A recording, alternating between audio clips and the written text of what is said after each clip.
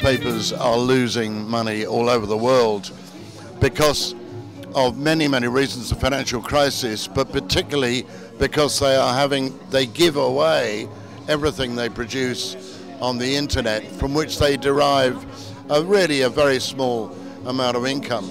So I would like to think the newspapers will always be with us because they're a very convenient way to get the news, very quick to go through a newspaper and see quickly what happened.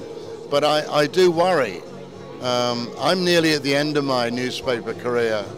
I would be a bit more worried if I was 25 as opposed to 62, which is what I am.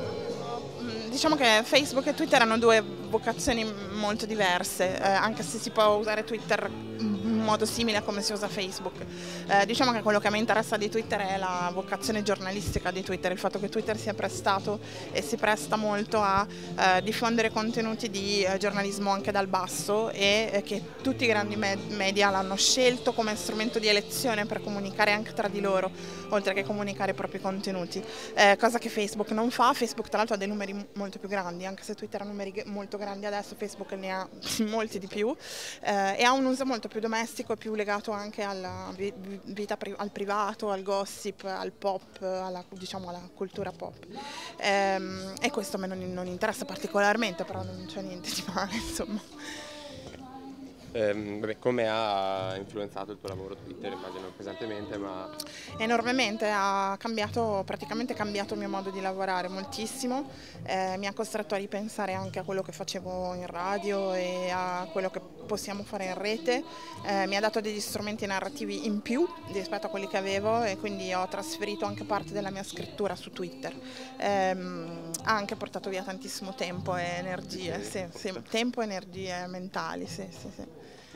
Well, Internazionale I love. Internazionale and its editor Giovanni, Giovanni De Mauro is the origin of my relationship with Italy.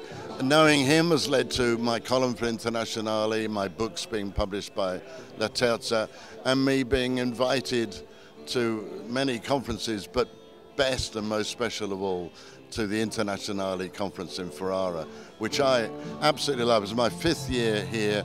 I think it's a wonderful, wonderful city. It's such a friendly uh, festival. And wh when I walk down the street, you know, people will stop and ask me things and, and want to talk. It's, it's an amazing place. And I go back to London and I tell people what it's like. And I'm sure they think I've been smoking funny cigarettes or drinking and making it all up.